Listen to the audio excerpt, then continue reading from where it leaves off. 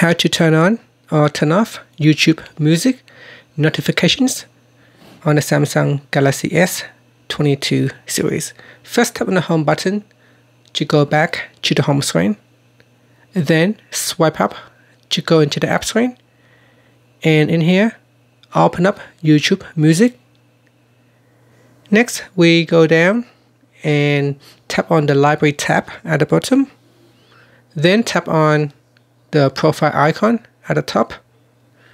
In your profile account, tap on settings. Then tap on notifications. And in notifications, tap on the toggle button that you want to turn off or turn on. So here we've got recommendation notifications.